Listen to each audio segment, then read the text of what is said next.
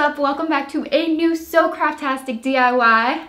Or if you happen to be new here, you can join the family by clicking the red subscribe button below and also the bell icon so you'll be notified every single time I post a new video, which is every Friday and Sunday. Today's video is all about scratch art. I decorated my cat ear phone case too. Also remember I have a Wreck This Journal series. On Sunday I actually ran over this book with my car, so if you have not seen that, I'll link the video below. It was a lot of fun. I decorated a few more pages and a new video is coming up in a couple days, so stay tuned for that. Also, don't forget to give this video a thumbs up if you happen to like it at any point. It will help this video get spread to the YouTube world. That way even more people will be inspired to create beautiful art. Ready, set, let's scratch away. Okay, ignore that I did that.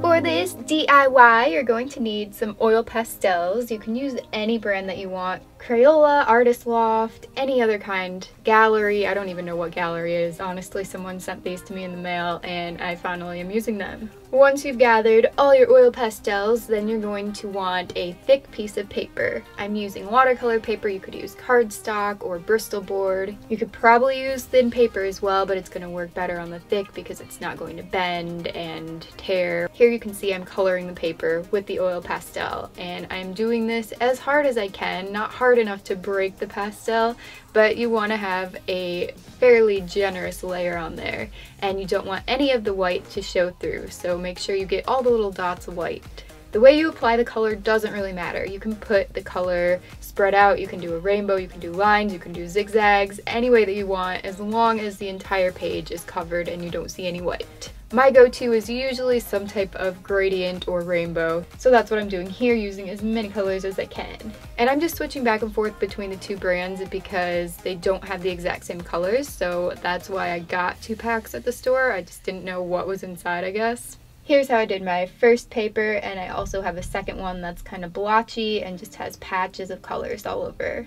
Before we get on to the next step, I want to do this kind of experiment for you guys because I feel like I'm going to get questions asking if you can use marker, if you can use pastel over pastel, so I'm going to answer your questions by showing you. I created this chart and I don't have all the possible combinations, but I did a lot. So I've divided it by what medium is used and also the brand to see if there's a difference between Crayola and Artist Loft and Gallery, just in case you guys want to know which is best. Right now I'm just setting up the page and coloring over everything or, you know, covering everything. Generally for scratch art, people use black, but you can use any color. Dark colors work best or a color contrast, so you can do black and white. So maybe you could even try white paint over black pastel and see how that turns out. And I did discover that the gallery pastels, you can actually color on top of them because they blend, so I used the other brand to color on top like this. The top row, I'm using plain acrylic and brushing that on with a sponge brush. You could use a paintbrush as well.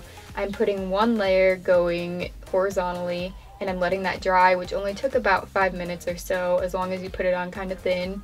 And then I'm doing another layer once it's completely dry and doing that the opposite direction, which is vertical for me.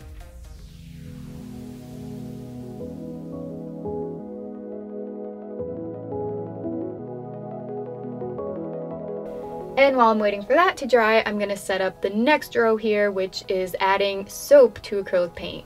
I don't think there's a specific soap you have to use, just hand soap, and you want to put in a squirt or two. There's no measurement. So just mix that in with the soap, or the soap, mix the soap in with the paint, I mean. And I use the end of a paintbrush for this, the non-brush part. And I'm going to repeat the same thing for the next row here, and brush it on one way, let it dry, and while I'm letting it dry, I'm just showing you the types of tools that you could use. There's tons of things. Anything that's kind of sharp that you can scratch with, kind of tiny, you know, so you can get detail. Now everything is completely dry and I'm doing the scratch test with a bamboo skewer. You could use a toothpick, like I said, anything that's kind of sharp. If you use metal, it might rip through the paper, so you may not want to do that, even though I kind of showed a pin there. I mean, I, I definitely showed a pin there, but you might not want to use that. I didn't really try it. I'm not going to explain this too much. I just want you guys to see how it looks as I am scratching, and I did speed this footage up because I don't want you guys to be watching this for three minutes straight being like, oh my gosh, she's drawing zigzags with a stick. And the reason that I started going scratch happy here is because the acrylic paint plain on its own with no soap actually flakes off when it shouldn't, where you aren't even scratching, it just flakes off excessively.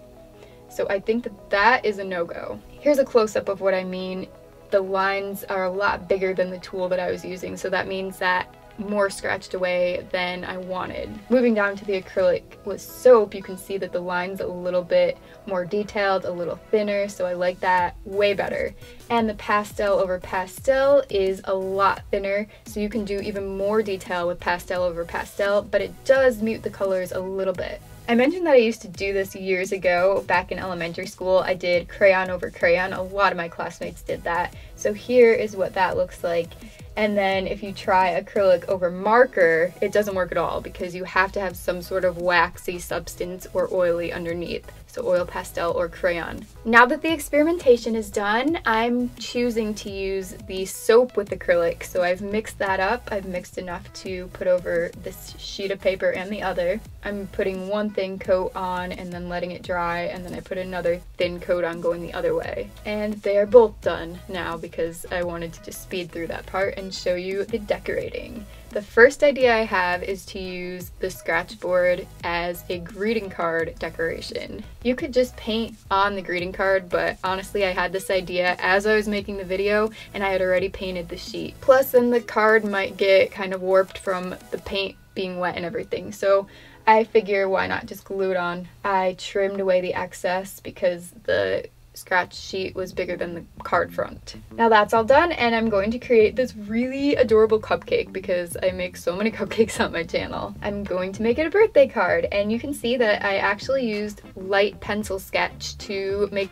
a template for, not really a template, just a guide so I don't mess up my cupcake completely by doing it freehand. And the scratching was really, really, really smooth at first, but then we get to this part and oh, oh, oh my gosh, that was a rip in the paper because guess what I didn't do? I did not wait for the glue to dry completely underneath. So if you do glue the scratch board to the front of anything, make sure the glue is completely, completely dry so the paper isn't fragile and, you know, it won't rip. But don't worry, I did fix this, but here I'm just showing you how I added details to the cupcakes um, to the, the, the single cupcake, one cupcake. Okay, I put lines for the cupcake wrapper and I put little tiny dashes for the sprinkles. Once I had all the sprinkles complete, I went and I fixed this area. I also wrote happy birthday, but you can see that. I put a candle. I'm bad at explaining today. Oh my goodness. So anyway, you can see I just took some more of the paint mixture and I also colored in the area of the paper that ripped and you can barely tell that anything happened. So if your line gets too wide or just you do something you don't want to do, cover it back up with paint and it'll look like you didn't mess up. Happy birthday to anyone whose birthday is today, by the way, and happy um unbirthday to all of the rest of us. The next thing I'm going to show you is just a simple piece of artwork. You could use this as a card front as well, but I measured the center of the paper, we'll found it with a ruler. So the dot was already there and then I measured like an inch away from the dot in four different areas so it makes a cross. And I did that because I wanted to put the circle in the center and then trace around that. You can also just scratch around it with your tool right away, but I was worried that it would move. So here I am just scratching over the pencil line I made and this is going to be a mandala or do you pronounce it mandala? I don't even know. I didn't look this up and I feel like people have told me in the past like on my drawing with makeup video and I didn't make a mental note to change the way that I pronounce it so I don't know. I put some tiny circles inside and another circle inside that and then another circle inside that and filled that in. And then here my hand has blocked what I'm doing but I put kind of a flower petal shape all around around. And then that's all the footage I did of me actually creating this because it was a lot of repetition, a lot of my hand getting in the way, and a lot of me moving the page around because that's how I create things. I move the page, like every single line or shape I make, I move the page and reposition it. So I usually have a hard time doing full drawing videos because I move so much and it's just hard to stay in focus that way. Plus it's a lot of footage. Like this took an hour or something. So that would have been a lot to edit through. I don't know how people do it. This is my cat ear phone case. I got it from Amazon a long time ago, back when I did the holo phone case video that featured cat cases. All I did for this was take the insert from my phone, and if you don't have one, you just need to like trace your phone case and cut out that circle make sure it fits inside. You just want a piece of paper, do all the same steps, and then you just scratch any design you want. I decided to do swirls. It looks kind of like branches, just kind of a fantasy nighttime scene, I guess. Abstractness on the phone case. And here's what it looks like now. Honestly, I'm gonna switch back to the holo glitter because it's really, really pretty and it makes me happy when I look at it, but I really like this one as well. Let me know which DIY from this video you like the best by leaving a comment below. Thank you guys so much for watching. I hope you enjoyed the video and remember if you did to give it a big thumbs up to let me know and help the video get spread around. It really helps out so I would appreciate it. A new Wreck This Journal video is coming up on Sunday. I can't wait for you all to see it. I mean I didn't drive over it with the car again but I made some really pretty pages so stay tuned. The playlist is listed below so you can see the first three videos if you are not caught up yet. Also, if you want to follow me on social media, I use my cat phone case while I'm on there, seriously. You can check my links to Twitter, Facebook, Craft, to uh, tweet and snap and go on Instagram and everything. You can check out my Facebook and Crafty Amino as well. Links are in the description box below. I hope you guys have a great rest of the day and I'll see you back here for a new video very soon. Bye!